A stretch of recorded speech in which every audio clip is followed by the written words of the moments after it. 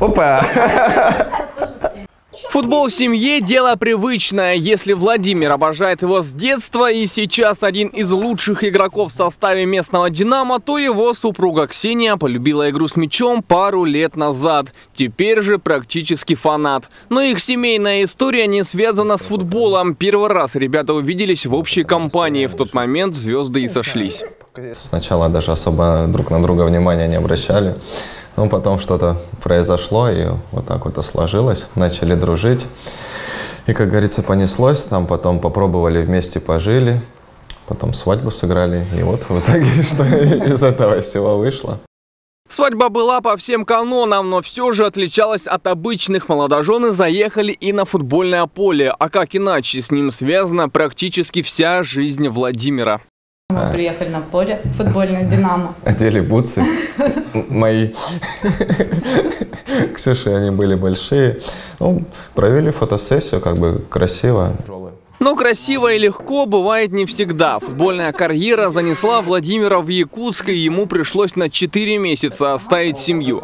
Молодые часто созванивались, переписывались, но такая жизнь главу семьи не устроила. И в личном споре, что важнее, семья или карьера, победила семья. Прочувствовал, как тяжело без семьи, без поддержки, то есть созванивались, там видеозвонки, но это все не то. Принял решение потом, что лучше буду дома как бы, что семья важнее, чем какие-то там заработки, либо еще что-то. Артем маленький был, рос, я потом приехал, он где-то месяц не отходил от меня, даже в садик не ходил.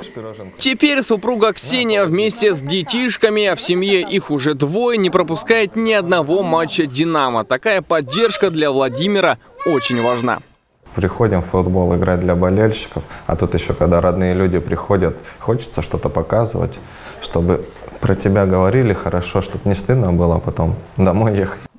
Редкие для футболистов выходные тоже стараются проводить вместе. Катаются на велосипедах, ездят на дачу. Не футболом же единым. Владимир еще ни разу не пожалел, что в свое время расставил приоритеты, и семья у него оказалась и продолжает оставаться на первом месте.